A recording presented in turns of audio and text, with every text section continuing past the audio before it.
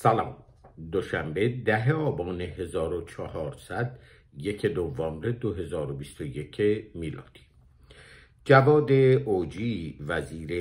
دفت کابینه آقای رئیسی عنوان کرده که 160 میلیارد دلار سرمایه گذاری در صنعت نفت و گاز نیاز داریم و اگر نه به زودی این تولیدات نفتی رو باید وارد کنیم.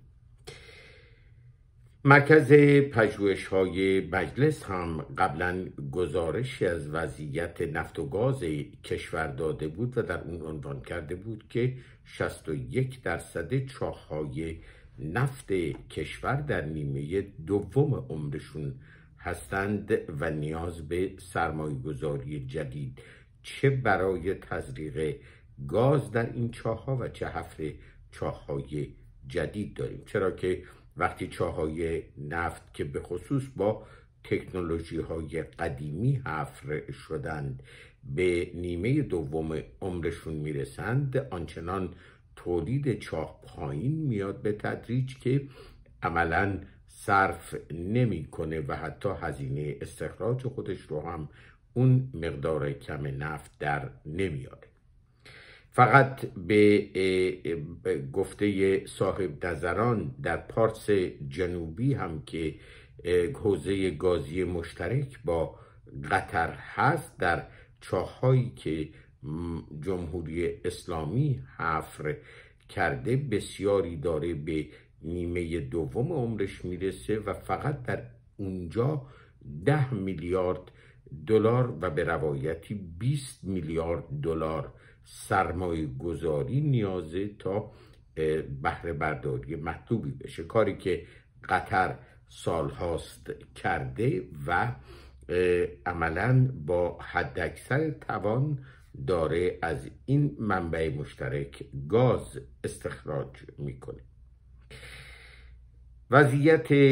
صنایع نفت و گاز کشور موضوعی است که از دولت قبلی و حتی دولت‌های قبلی هم همواره مطرح بوده و اعدادی نه به این بزرگی 160 میلیارد دلار آقای اوجی ولی نزدیک به این اعداد در سنوات گذشته از سوی آقای زنگنه و اسلاف او هم مطرح شده. اگرچه خود نفت و صنایع نفت و گاز صنعت رو به افول هست و از سال 2030 به بعد پیش بینی میشه که عملا دنیا نفت و گاز رو کنار بگذاره و همین الان هم در اجلاس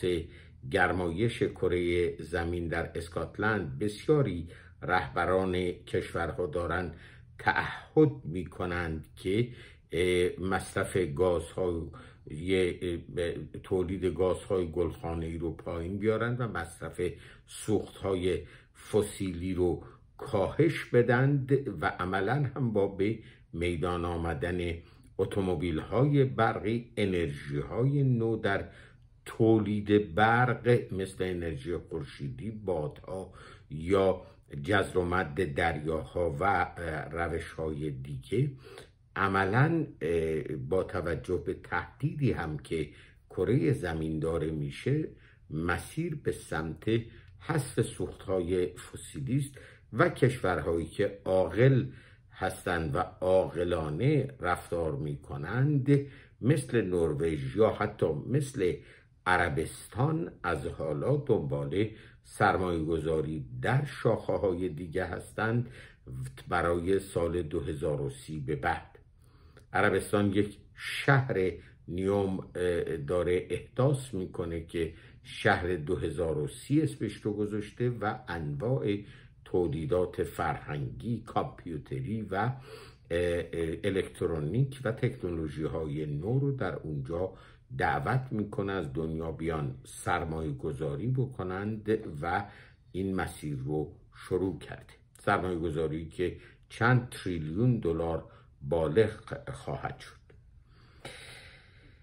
در همین حال آقای اردشیر دادرس رئیس انجمن سنفی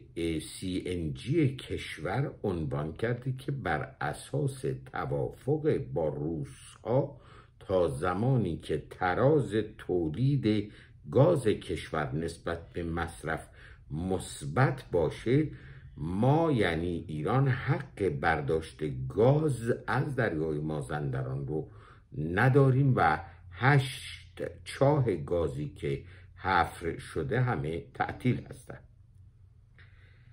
او عنوان کرده که در حال حاضر 17 و 9 دهم درصد گاز دنیا رو ما تولید می‌کنیم و اگر از این هشت چاه روسها اجازه بدن و ما برداشت کنیم می‌رسیم به 18 ممیز دو دهم درصد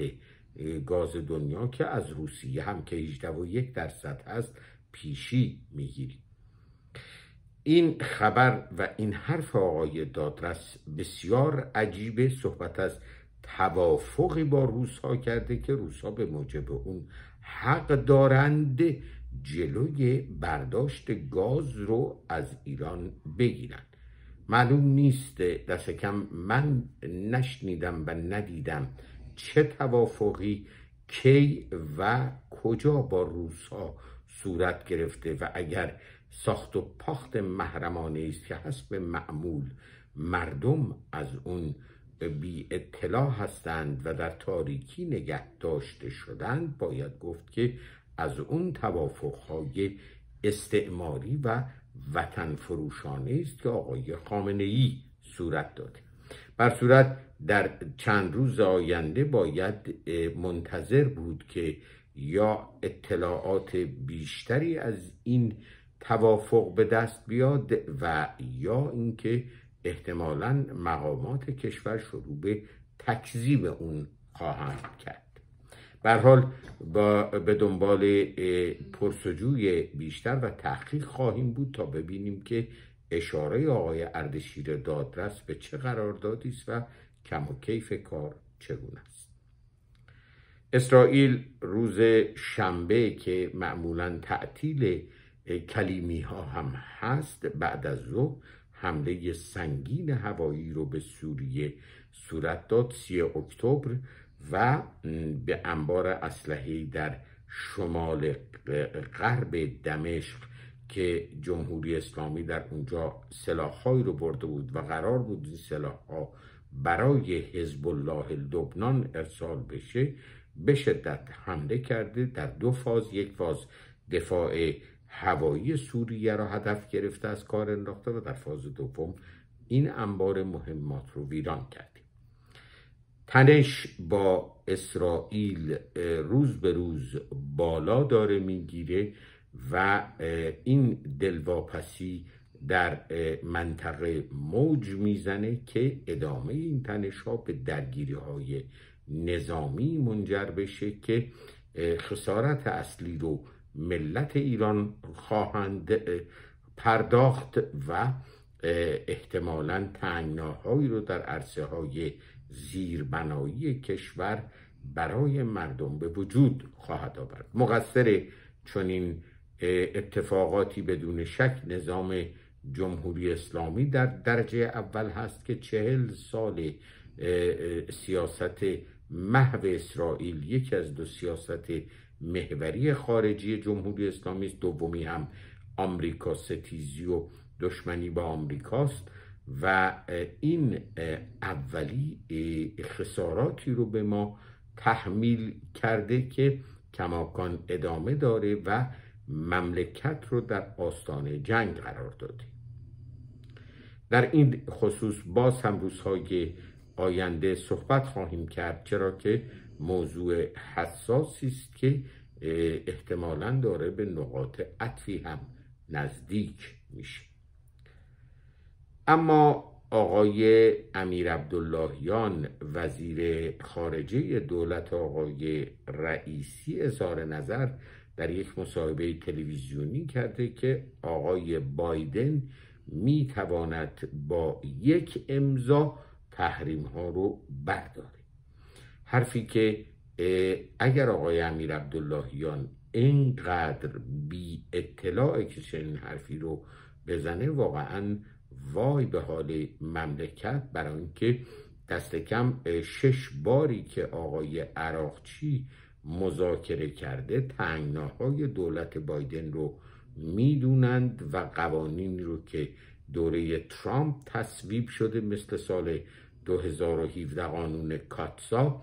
و تحریم هایی که زیل سرفصل تروریزم قرار گرفته از جمله تحریم سپاه و یا حتی تحریم بانک های ایرانی که برداشتن اونها مستلزم مطلع کردن کنگره و جلب نظر کنگره است. موضوعی که برای کابینه آقای بایدن ممکن نیست. حال این اظهار نظر آقای امیر عبداللهیان اگر برای پروپاگاندا نباشه و حد سطح اطلاعات ایشون باشه باید گفت وا مصیبت. بر حال فعلا ایشون به ظاهرا بیماری کرونا گرفته اگرچه بعضی ها معتقدند که کرونای مسلحتی است برای اینکه فعلا مذاکرات رو به تاخیر بندازه ولی به هر صورت اعلام شده که به قرنطینه رفته. با امید پیروزی ایران و ایرانی